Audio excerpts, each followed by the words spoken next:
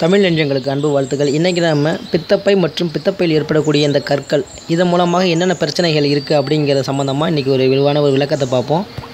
இந்த பித்தப்பை வந்து எங்கே இருக்குது அப்படிங்கிறத தெரிஞ்சுக்குவோம். கல்லீரலுடைய அடிப்பகுதி அந்த கீழ்ப்பகுதியில் உள்ள ஒரு சின்ன ஒரு பை போல் இருக்கும். இந்த அமைப்பை தான் பித்தப்பை அப்படின்னு சொல்கிறாங்க அடுத்ததாக இந்த பித்தப்பையானது கல்லீரலுக்கு எங்கே அமைஞ்சிருக்குன்னு பார்த்தோம்னா அதனுடைய வலது பக்கத்தில் தான் இது அமைந்திருக்கும்.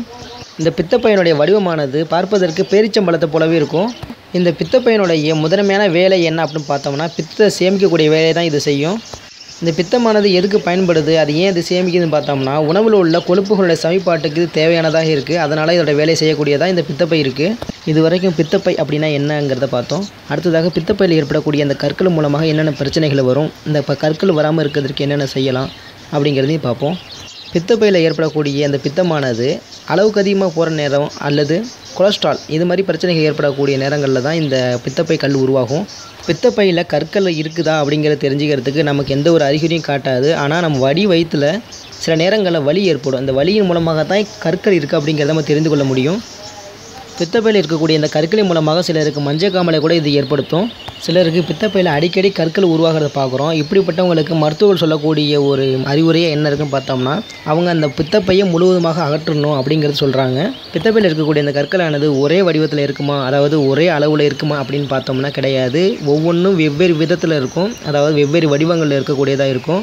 சிலருக்கு சின்ன சின்ன கற்களாக கூட இருக்கலாம். அல்லது பெரிய ஒரே ஒரு கல்லாக கூட இருக்கலாம். அதோட கல்லோட வடிவத்தை வந்து நம்ம குறிப்பிட முடியாது.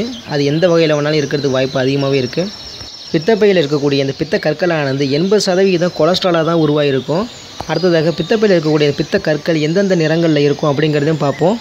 வெளிர் மஞ்சள் பழுப்பு சுண்ணாம்பு வெள்ளை நிறம். அது மட்டும் இல்லாமல் கருமை நிறத்தில் கூட இந்த கற்களானது காணப்படும். பித்தப்பையில் வரக்கூடிய இந்த கற்களானது யார் யாருக்கெல்லாம் வரலாம் அப்படிங்கிறதையும் நம்ம தெரிந்து கொள்வோம். முதலாவதாக உடல் பருமனாக இருக்கக்கூடியவங்களுக்கு வருவதற்கு வாய்ப்பு இருக்குது சிறுநீரகம் கல்லீரல்.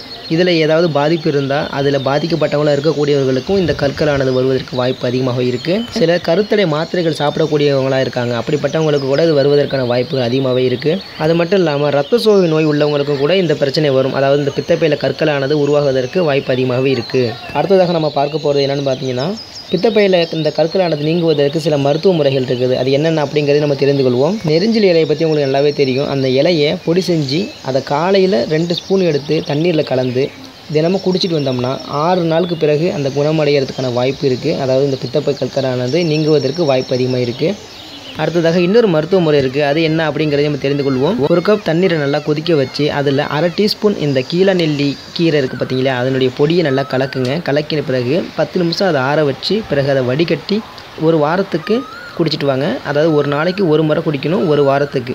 ஏழு நாட்கள் தொடர்ந்து குடிச்சிட்டு வந்தீங்கன்னாக்கா இதனால் ஒரு பலன் உங்களுக்கு கிடைக்கும்.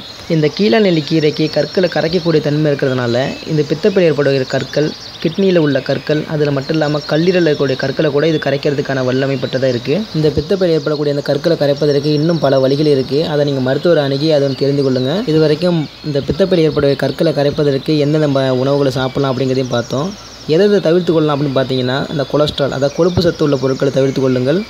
அடுத்ததாக அளவுக்கு அதிகமாக தண்ணீர் அருந்தக்கூடிய ஒரு பழக்கத்தை ஏற்படுத்திக் கொள்ளுங்கள். அது மட்டும் இல்லாமல் கூடுதல் தகவலாக வேலை வேலைக்கு சரியான நேரங்களில் சாப்பிடக்கூடிய ஒரு பழக்கத்தை ஏற்படுத்திக் கொள்ளும் மூலமாக இது போன்ற பிரச்சனைகள் வருவதிலிருந்து நம்ம நாம் பாதுகாத்துக் கொள்ளலாம். இந்த தகவல் அனைத்து உங்களுக்கு பயனுள்ளதாக இருந்தால் உங்கள் நண்பர்களும் ஷேர் பண்ணுங்கள் நம்மளோட சேனலை சப்ஸ்கிரைப் பண்ணிக்கோங்க. நன்றி.